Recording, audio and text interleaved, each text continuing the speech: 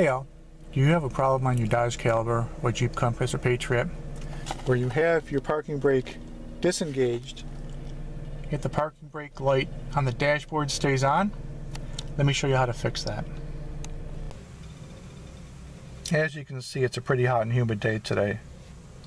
Not an enjoyable day to be working on the car. Sorry for the noise, neighbors are getting the yard cut.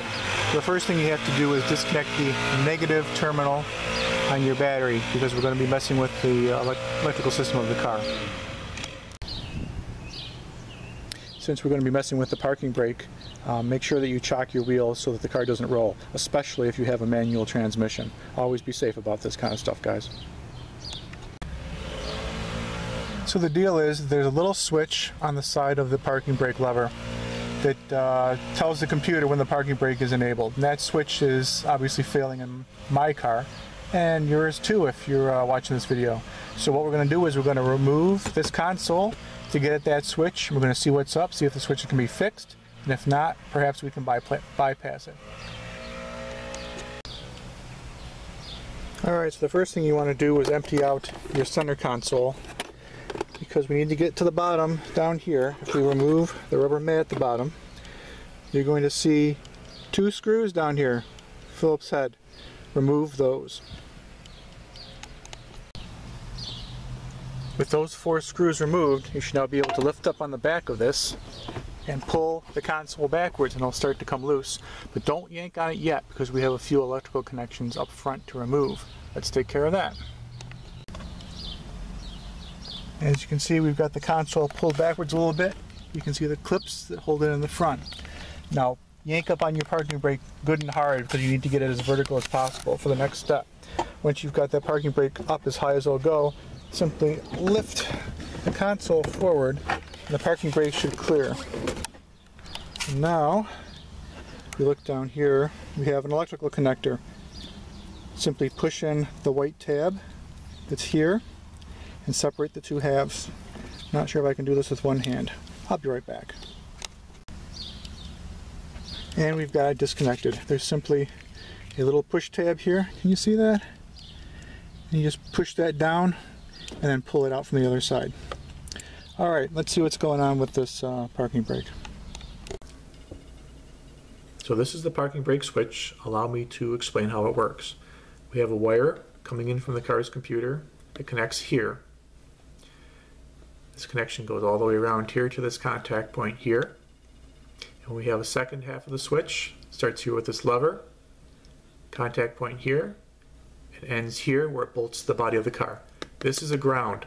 So this is where the ground for the switch comes from. And the, the idea is that when the parking brake is on, this wire coming from the computer connects to ground. And the computer knows by that that the, that the parking brake is on and turns the light on on the dashboard. So we pull the parking brake handle up, and this is the status of the switch when the handle is up. when you lower the handle down, it pushes down on this lever here. It breaks the connection between this half of the switch and this half of the switch. So we no longer have a ground uh, for this wire going coming from the computer. So when the parking brake is off, we don't have a completed circuit and therefore the light on your dashboard goes off. So the reason the light on my dashboard staying on is because over time this part of the lever has um, pushed been pushed down so it no longer sticks up this high. So when the handle comes down to press it down, it's not able to put enough pressure on it to break this contact here. So the fix for my switch is very simple. I'm simply going to take this part of the lever and bend it back up. So when the handle comes down, it contacts this sooner and pushes it down farther and it will break the connection here. While I'm at it, I'm also going to use some fine grit sandpaper to clean the contact points here, the spade terminal here, and the connection here. Make sure those are all clean so we don't have any issues with corrosion over time. So let me go take care of that and uh, we'll get this back in the car and we'll see if it fixes it. Alright, so I removed the uh, oil that I found that was in this area here where, this, where the screw goes. I've cleaned up the contacts with some fine grit sandpaper. So let's put this back in the car and see if that fixes it. Okay, so this is the base of your parking brake, right here. Here's where the switch goes. It's held in with one 8 millimeter bolt, and there's a plastic locator pin. Um, there's a hole, corresponding hole in the in the base here for the pin.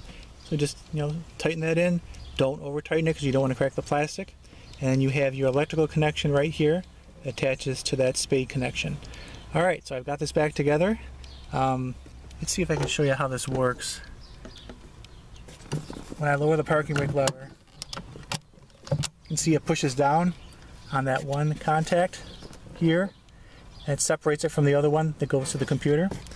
And when I pull it back up, it brings the two contact points back together and that grounds out the wire and that tells the computer that the parking brake is on. So now that I've got this back together, let's uh, give it a shot and see if it works, if it fixed it. All right, let's see how we did. Parking brake is on.